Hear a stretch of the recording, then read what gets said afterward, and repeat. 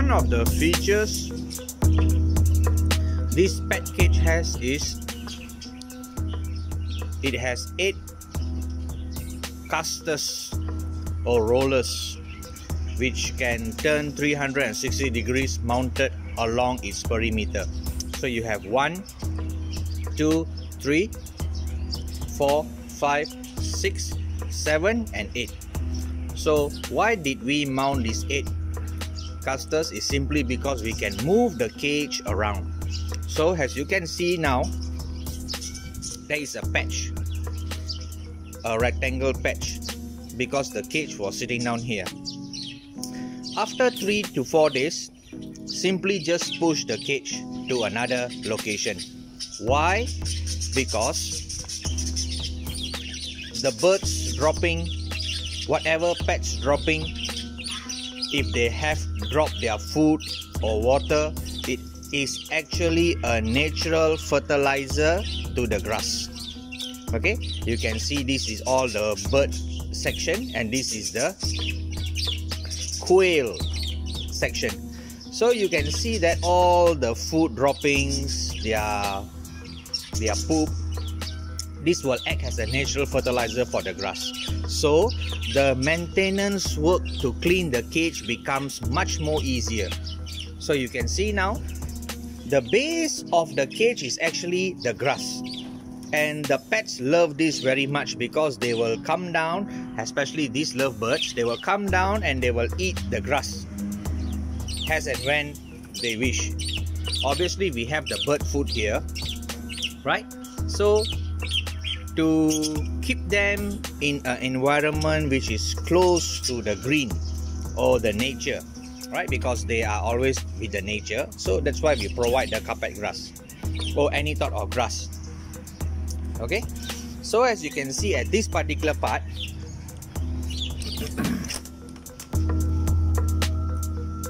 so these are the quails and obviously you have to remove the water and you have to remove the the, the, the food when you want to move the cage okay? Unless you mount it up.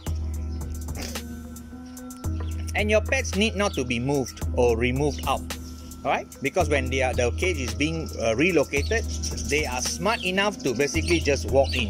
They will not get trapped at the at the bottom of the cage. Why? Because there is a protective netting all around right? Especially the birds compartment so that they cannot escape through the opening here. Okay there is a protective netting all around. You can see the white strap here. So a netting a plastic netting has been placed along the perimeter in the cage. The second feature of this cage is the door. Okay in the previous design the door was made to slide up and slide down. Okay so this is how the door was opening. So the handle was there. So the door was being slide up and then you put in two pin to prevent the panel of the door to come down and then you go in and go out. And i found it quite troublesome because the posture involved the opening involved not very convenient right? A lot of bending of the back. So it's not very convenient. So decided to change the design by means of sliding up and coming down opening up this way right? By means of a compressed damper where we will I will show you in a while.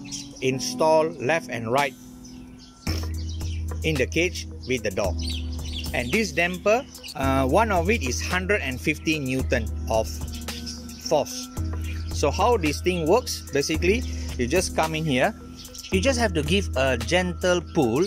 Automatically it will lift up by means of the damper. So we have one damper here and two dampers right? One of the damper is 150 newton. So if you want this thing to move up by itself you may use 150 newton or slightly more than that. If you want it to stay at any location you do not want it to move out you reduce the force of the damper because these are all available in the market right? Especially in the places where they sell the accessories for kitchen cabinets right? Because these are all used for kitchen cabinets door doors enclosures and so forth. And then you want to close the cage just simply press it down. And you may lock it left and right. Right? So when you open the cage right we cannot make the door very big. Okay? So this is uh, suitable. So obviously you're going to go in. So while you go in you will be seeing a wood here. So the wood is also protected here now by means of an insulation type of property whereby if you hit the wood you will not feel any uh, pain or there will be no any harm caused on your body because this is a damper element soft element okay where it, it will protect you if you happen to hit it. Okay that is second feature. The third feature is when you want to access to the bird compartment right? How are you going to access to the bird compartment and what is the feature we are talking about? Basically this is the bird compartment and you have a door here right now you notice that if you open the door the door is quite big if you open the door the tendency for the bird to fly out is very high right imagine keeping a bird or a pair of birds where their price is extremely expensive. Example, a pair of parrot costs about 1500 ringgit Malaysia. Right? So, in order for them not to fly out, or if they happen to fly out, you're still able to uh, catch them and put back at this location. So, we made two door system. So, this is the first door. So, how to access to the bird, bird cage? You open this door you go inside right you have to go in so once you are in you need to close this door so there is also a handle provided on top and this handle is a very long handle so you need not to locate the handle when it is small you can just simply just put your hand inside and just pull it okay and now the door is closed so when the door is closed you may open this door. There are three latches here. Undo the three latches, you open this door, you go in, immediately you go in, there is a latch, you can close it from the other side. So now if you open the door, if the bird happen to fly out, they will be in this compartment and is fully netted. Okay, so you will be still able to catch them and put back at their home, which is the bird's compartment. So when you are here, there is a latch on top there to latch it. So that is one of the, the third feature of the of the cage. okay, the fourth feature of the cage is the storage compartment. Right? So this pet's cage comes in with a built-in storage compartment. You just open up here. Okay, you can see this part here is empty you may store any type of pet food their accessories and all that here and it's all covered up right so you can close and you can open. So this is the the fourth feature of the cage. The fifth feature of the cage is you have these blinds attached to the cage at only one side because you don't want to close the entire cage or it's up to you. Okay? You want to put the blinds maybe all around it's up to you. But for my case here i'm only putting it here because most of the time the sunlight is from this side. So i put the blinds here so that it can give some sort of shade to the pets sixth feature of the cage. Obviously this is something to do with uh, safety right? So we are using a zinc material at the edge here although it has been grinded by a grinder and is made round on the material but it's still dangerous because you might hit it is at head level right? So we put some sort like a L insulated part okay? To protect anybody's head from physically hitting this part okay? And also the entire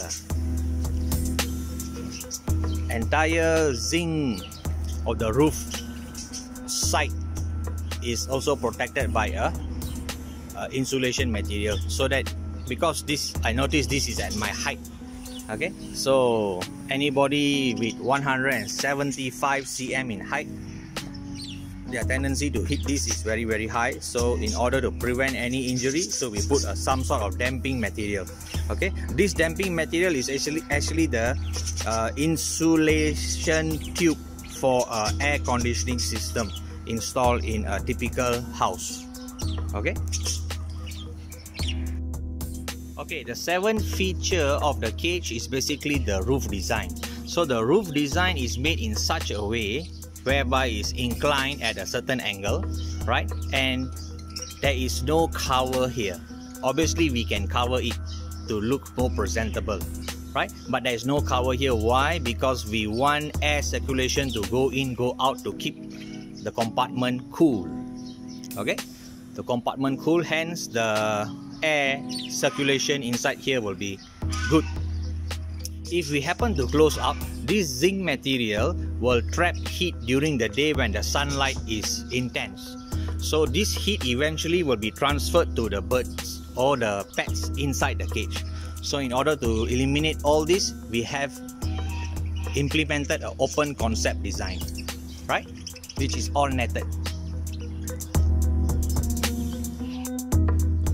And last but not least is the accessories which you may place it in this case we have placed some accessories for the birds to chill okay to relax some uh, hanging decoration or hanging uh, structure for them to sit down and to swing because this is to simulate their nature in the actual environment right in the jungle and all that. So obviously we got a hammock here okay.